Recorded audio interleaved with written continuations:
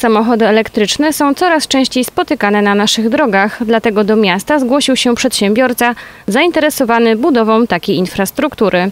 W związku z tym ogłoszono przetarg na dzierżawę siedmiu miejsc, w których mogłyby się znaleźć ładowarki elektryczne. Do przetargu przystąpiła jedna e, firma.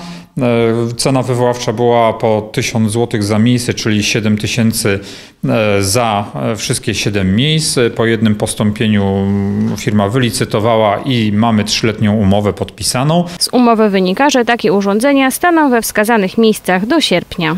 Już teraz e, mamy tutaj sygnały od przedsiębiorcy, że nie we wszystkich punktach uda mu się do sierpnia e, te ładowarki z, e, zrealizować, a to dlatego, że procedura z energią się przedłuża i wykonanie przyłącza potrwa trochę dłużej. Niemniej jednak pierwsze ładowarki w sierpniu rozpoczną swoją działalność. Ładowarki będą się znajdowały przy ulicach Tarnowskiego, Fredry, Dworcowej, Okopowej, Śliwińskiego, Sybiraków oraz Brzeskiej. Będą bezobsługowe, a za naładowanie samochodu zapłacimy kartą.